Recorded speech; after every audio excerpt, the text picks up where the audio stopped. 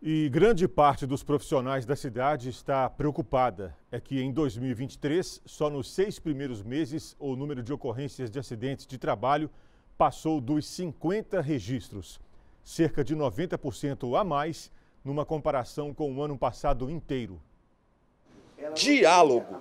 Em todo o mundo, essa conduta poderia resolver problemas, mas que isso pode também evitá-los. Eu acredito que todos aqui são treinados, capacitados, conhecem o seu equipamento, mas na correria do dia a gente deixa fazer aquela mera inspeção. É muito importante para nos prevenir. Né? O acidente é algo inesperado, mas quando acontece, ele pode ser fatal. Esta conversa é um diálogo diário de segurança. O objetivo é instruir profissionais industriais sobre os riscos das atividades e como se portar diante de cada dificuldade. A demonstração é voltada à conscientização dos trabalhadores. A campanha é uma ação para celebrar o Dia Nacional da Prevenção de Acidentes de Trabalho, comemorado em 27 de julho, e foi realizada por órgãos públicos de governador Valadares. A importância é conscientizar tanto as empresas quanto os trabalhadores que utilizam esses equipamentos, que são as serras elétricas, serras manuais, serras de bancada. Então é conscientizar para as medidas de prevenção desses acidentes, que são acidentes que ocasionam lesões importantes, né, afastamentos e prejuízos, tanto para a empresa, para o trabalhador, quanto também para o sistema de saúde. Durante as ações, os trabalhadores receberam conhecimento sobre como atuar com a lixadeira. A máquina está entre os principais agentes causadores de notificações e subnotificações de acidentes na maior cidade da região leste de Minas.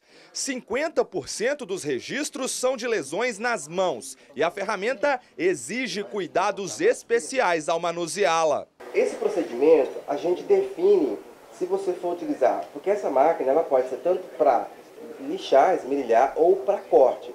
E no caso aqui nós vamos esmerilhar. Uhum. Então quando for esmerilhar tem que colocar a coifa de mora proteger ele, uhum. entendeu? Quando for disso de corte, é, ele pode selecionar na melhor posição, tanto que ela tem essa, essas duas vertentes justamente para isso. E algumas delas, inclusive, tem uma outra vertente que é aqui cima, que é justamente para você fazer esse movimento, que não é o caso dessa. No ano passado, 119 acidentes de trabalho envolvendo equipamentos como serras e máquinas aconteceram em Governador Valadares. Nos seis primeiros meses deste ano já são 60. Os números indicam que as ocorrências não devem diminuir.